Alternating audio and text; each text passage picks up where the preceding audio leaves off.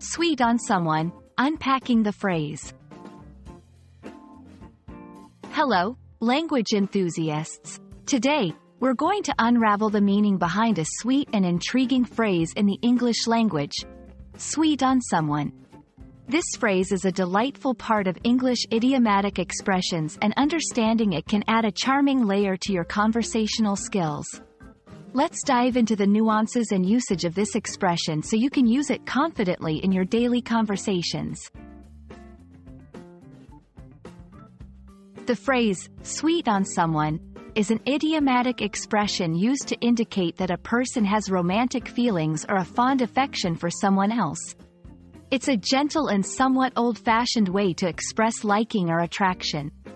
Unlike direct declarations of love, being sweet on someone carries a sense of subtlety and tenderness. While the exact origin of this phrase is not clear, it is believed to have been used for centuries, primarily in British and American English. The word, sweet, is often associated with pleasantness and likability. And when you're sweet on someone, you find them delightful and pleasing. This phrase is commonly used in casual, everyday conversations and is understood to convey a light-hearted and affectionate interest. To better understand how to use this phrase, let's look at some examples. 1. I think John is sweet on Mary. He always lights up when she's around.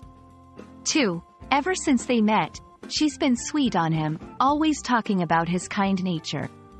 3. It's obvious he's sweet on her. He can barely take his eyes off her when she speaks. In these examples, the phrase is used to subtly hint at someone's affectionate feelings toward another person. There are other expressions in English that convey similar meanings.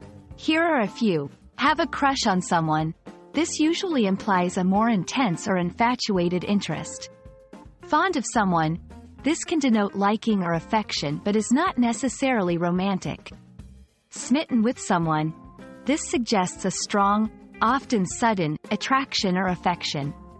Understanding these similar phrases can help you choose the most appropriate expression based on the context and intensity of the feelings you want to convey.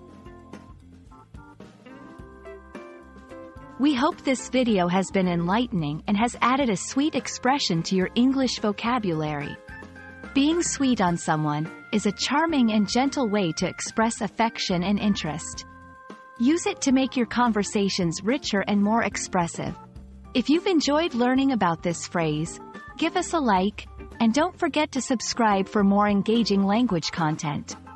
Until next time, keep learning and keep sharing the sweetness of languages.